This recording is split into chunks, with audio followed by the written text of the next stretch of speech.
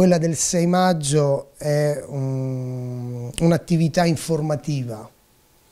Eh, noi parliamo a tutti, è un evento aperto a tutti, non esclusivamente ai medici, perché le persone hanno bisogno anche di essere informate.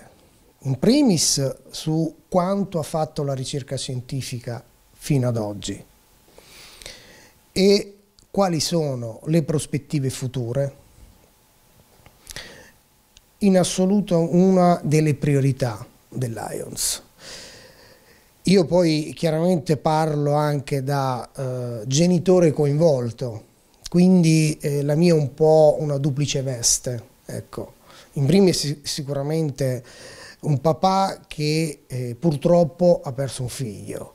Nel 2017 eh, abbiamo fatto un percorso, un percorso importante, duro, e quindi quando io mi accingo a uh, parlare di, queste, uh, dire, di, questi convegni, di queste organizzazioni, di, di, parliamo di tumori pediatrici, eh, nella fattispecie eh, tumore cerebrale neuroblastoma, eh, lo faccio con, con il cuore, perché mi medesimo in quello che in questo momento alcune famiglie stanno vivendo.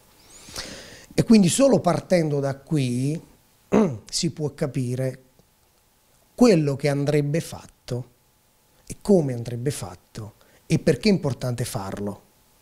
Purtroppo i casi esistono, sono in aumento, ogni anno ce li abbiamo e, e noi eh, come Lions ci vogliamo dar da fare, vogliamo fare qualcosa.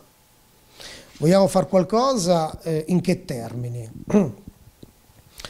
Uno nel appunto fare informazione, coinvolgere i medici dedicati a questi bambini, supportare la ricerca, e in questo caso lo faremo attraverso l'associazione lotta al neuroblastoma e tumori cerebrali. Il laboratorio principale, se così lo possiamo chiamare, ha sede al, al Gaslini però questa associazione negli anni ha fatto un lavoro egregio, ha destinato fior fior di quattrini a, a ricercatori, a giovani ricercatori e a giovani medici, mettendo nelle condizioni di fare le ricerche più appropriate, più indicate per questa patologia. Un altro obiettivo che ci poniamo è quello di creare un collegamento tra la nostra sanità, la nostra pediatria, che possiamo definire un po' una pediatria periferica, con i centri d'eccellenza.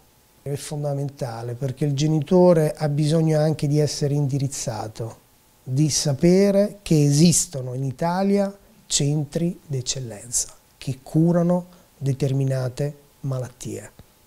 Non tutti i centri in Italia possono farlo il Lions eh, si spende molto, ha degli obiettivi, tanti obiettivi importanti, tra cui l'oncologia pediatrica.